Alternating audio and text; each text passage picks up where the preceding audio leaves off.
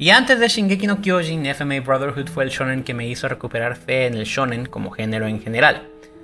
Su predecesora, aunque incompleta con relación al trabajo del que proviene, tiene méritos propios con un carácter sombrío y maduro inéditos. Pero para mí la segunda entrega es mucho más completa y satisfactoria a la larga, percepción reforzada por el hecho de que aún hoy creo que el conquistador de Shambhala es una vil basura si se toma en cuenta como parte de la continuidad del manga. FMA Brotherhood sigue bien el progreso de sus personajes, tanto en periodos de preguerra como de posguerra, y disecciona sus trastornos inesperadamente bien para tratarse de un shonen que no está obligado a ser demasiado analítico a riesgo de perder adeptos. Las reglas del funcionamiento de su alquimia aportan una parte considerable de su fun factor y cuando no se está en medio de confrontaciones tan bien coreografiadas como concluidas, los espacios son muy bien aprovechados para penetrar en las vidas de los miembros del elenco, pese a ser notablemente numeroso.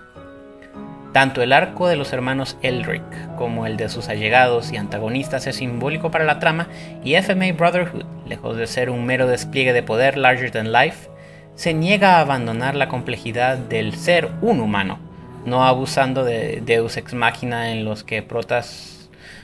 o los protas parecen ser más bien hijos de Michael Bay. FMA Brotherhood está inflado y con ganas en el mundo del anime manga, pero saben, se me hace completamente comprensible. Aunque con faltas como un villano principal aguado y un desenlace que perfectamente se prestaba para crear mayor suspenso y tensión, tomando en consideración sus puntos fuertes, FMA Brotherhood excede en todos los demás departamentos con un soundtrack de primera, una animación deslumbrante y una historia que invita a devorarla, con un mundo y aventuras que saben quedar con gracia en la memoria.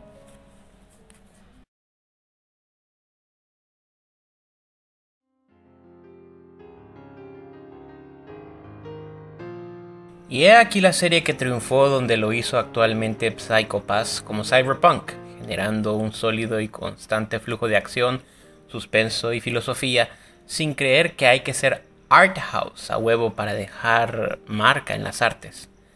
Ghost in the Shell Standalone Complex es una entrega animada que se aproxima mucho mejor a la imagen futurista originalmente concebida por Shiro Masamune y le expulga sus trivialidades mucho mejor de cómo lo hiciera Oshima Moru, quien se fue por la tangente en la dirección artística con el film que creó en los noventas, brindando a los miembros de la sección 9 del Buró de Seguridad Pública el aplomo, profesionalismo y complejidad que se merecían, tanto como agentes de la ley y el orden, como individuos de un mundo en el que el control del tráfico de información equivale a tener poder absoluto. Los casos que deben investigar, ya sean los principales o los menores, son muy interesantes en su totalidad, y si no estamos admirando lo bien que cuajan los miembros del escuadrón de la mayor Kusanagi,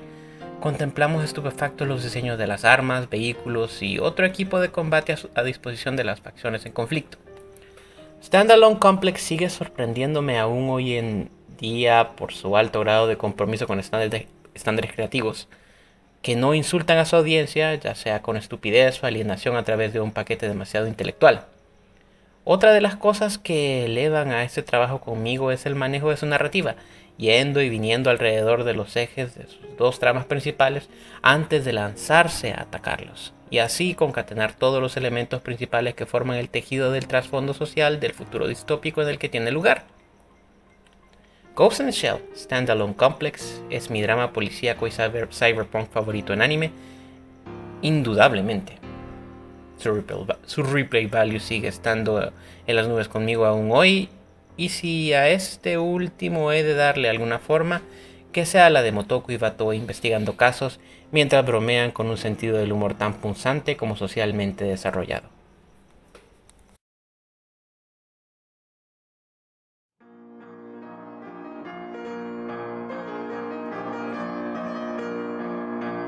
Uchu Senkan Yamato la épica y romántica travesía de un acorazado espacial solitario hacia el planeta Iskandar, en la nube de Magallanes, con el fin de obtener, de la reina de una civilización tecnológicamente mucho más avanzada que la nuestra, el limpiador cósmico, un dispositivo tecnológico que usará su tripulación para salvar a la Tierra de la contaminación radiactiva provocada por asteroides lanzados adrede por los Gámilas,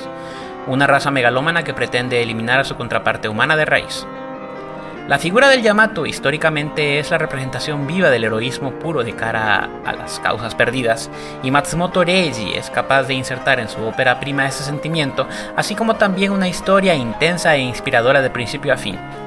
La causa del Yamato es un generador ilimitado de empatía y los encuentros entre los aventureros humanos y los Gamilas, así como también las tropas de las razas subyugadas por esta última, a través de un número de batallas impregnadas de coraje, entereza e ingenio, nos tienen prácticamente dentro del centro de mando del Yamato, a las órdenes del indómito y astuto capitán Okita Yuzo. Es verdad que las hazañas de Yamato son protagonizadas por la imagen de una otrora arma imperial de guerra, pero su mensaje universal de espíritu de sacrificio ante cualquier grado de adversidad remodela nuestra manera de ver a los hombres y mujeres que forman parte de un conflicto de cualquier tipo. Ya sea en términos de animación, caracterización, trama, desarrollo y musicalización, el Yamato representa un coloso artístico, de la animación del Sol Naciente, y no es solo por el legado que dejó entre futuros autores nacidos en esa generación que la elevo a esta posición, sino porque, como relato, encanta, penetra e inspira, a pesar de sus años. Ha sabido envejecer más que solo bien, y desde hace rato ya, de hecho, es una de las constelaciones más resplandecientes en el cielo de la animación japonesa.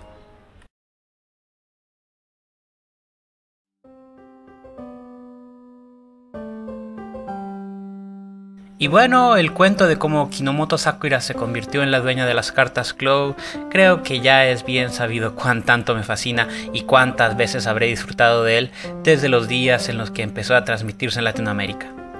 Card Captor Sakura tiene una trama no contaminada por fillers, no es pretenciosa, cuenta con un cast tan encantador como inolvidable en la memoria de quienes entran en contacto con ella y, puesto de manera simple, es una historia de niñez, amistad, romance primerizo y fantasía hecha y derecha, con pies y cabeza, bien empezada, desarrollada y concluida. A todo esto, cero carácter pretencioso, amiguitos, insisto. Y si bien es cierto que, como es característico de las Clamp, hay en la serie personajes de afectos entre comillas socialmente controversiales, Captor Sakura no se siente falsa o explotativa a la hora de explorar el mundo real del que, del que parte su premisa fantástica. Claro que por supuesto que Jess, que me gusta el diseño de sus personajes, su enamorador soundtrack, la deslumbrante calidad de la animación para su época y su formato de capturar y reconfigurar las cartas del mago Clow, elemento central de la historia. Y sé que ya lo he dicho antes muchas veces, pero aún así no puedo dejar de lado el hecho de que su pareja protagónica y su muy completo y satisfactorio desenlace son de mi absoluta predilección. Y aquello que, principalmente, me, me trae de regreso a a ella no solo para disfrutar de sus highlights, sino del carácter integral de su entretención, candor, diversión y magistral fluidez, indudablemente ejemplar para su era, sin que nosotros mismos estuviéramos conscientes de ello, pues así de simple llegó a dejarnos embobados como espectadores. Car Captor Sakura es deliciosamente noventas, y a la vez una serie que jugó bien con todo lo que tenía para dar por lo cual mi respeto y fascinación por ella, aún ahora como un adulto crítico, son casi, casi, casi, casi incondicionales.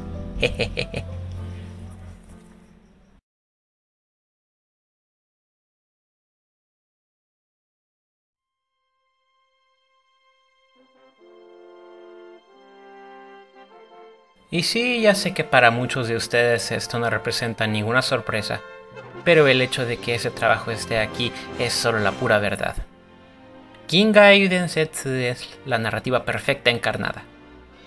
No solo la historia de esta ópera espacial es aún más épica que la de la propia Uchusen Yamato, sino también que su cast, dividido en dos a través de los dos bandos en pugna en la serie, es la imagen de la perfección en enlace y profundización, pese a ser uno de los más extensos que haya visto. Su banda sonora es una de las guías de música clásica más completas que he escuchado y el hecho de que sus composiciones suenen en medio de batallas que decidirán el mismísimo equilibrio del poder de este lado de la galaxia es algo capaz de dejar estupefacto al más inculto de entre los incultos. Kingai Densetsu es además un resumen espectacular del carácter irreconciliable entre el republicanismo y el despotismo, narrado en la vida y obra de sus indisputables figuras heroicas. Yang Wenli y Reinhard von Lohengram. Ver a esos dos genios del combate interestelar colisionar en distintos campos de batalla a lo largo y ancho de un infinito campo de estrellas es, a falta de otras palabras que les hagan justicia, como sacado de un océano de magnificencia creativa e invaluable espíritu educador para la juventud de todas. Así es, todas las generaciones. Kinga Densetsu va muchísimo más allá de cualquier clase de diversión trivial y alza todo lo bueno que el anime está en capacidad de dar a personas de toda cultura, raza o perfil psicológico, sin ser por ello redundante, elitista o conformista, creativamente hablando, sino más bien todo lo opuesto, honesta, comprometida con su audiencia y, por sobre todo, muy, muy humana. Yo, en lo personal, soy y seré siempre un incondicional adepto de las acciones e ideales de Yang Wenli y la democracia a la que éste juro defender a toda costa.